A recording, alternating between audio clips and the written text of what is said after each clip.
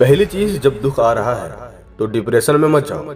क्योंकि आप जानते हो, ये भी परमानेंट नहीं है टेम्पररी है। कल फिर ठीक हो जाएगा।